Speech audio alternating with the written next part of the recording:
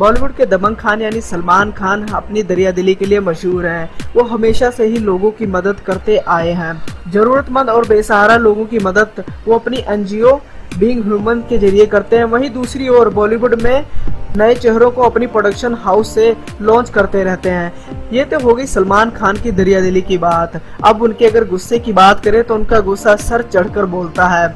और जो उनके गुस्से का शिकार हो गया, सो हो गया। सलमान खान उसे कभी नहीं माफ़ करते हैं। आज हम आपको इस वीडियो में बताने वाले हैं कि एक टाइम ऐसा भी था कि बॉलीवुड के सुपरस्टार सलमान खान अभिनेता रणवीर सिंह को कुर्सी उठाकर मारना चाहते थे। रणवीर सिंह से इतना ज़्यादा गुस्से में हो गए थे कि वो रणवीर सिंह को मारना चाहते थे।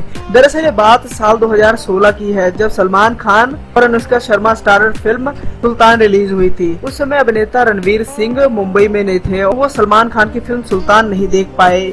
इसलिए वो पेरिस के एक लोकल थिएटर में गए और वहाँ पर उन्होंने सलमान खान की फ़िल्म सुल्तान देखी।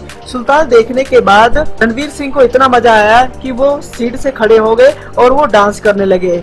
रणवीर सिंह को डांस करता देख वहाँ पर मौजूद लोगों ने भी उनका साथ दिया और उन्होंने भी रणवीर सिंह के साथ डांस किया।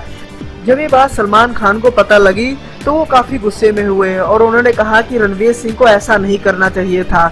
उन्होंने थिएटर में मौजूद लोगों का ध्यान दर्शकों को उन्होंने ठीक से फ़िल्म देखने को नहीं दी। कुछ दिनों बाद सलमान खान ने एक प्रेस कॉन्फ्रेंस के दौरान इस मामले पर बातचीत करते हुए कहा कि मुझे जब ये बात पता लगी रणवीर सिंह के बारे में तो मुझे काफ़ी गुस्सा आया। मैं अगर वहाँ पर मौजूद होता तो मैं उसे कुर्सी खींच कर मारता। तो इस तरह सलमान खान ने अपना गुस्सा ज़ाहिर किया था रणवीर सिंह के उस रवैये पर।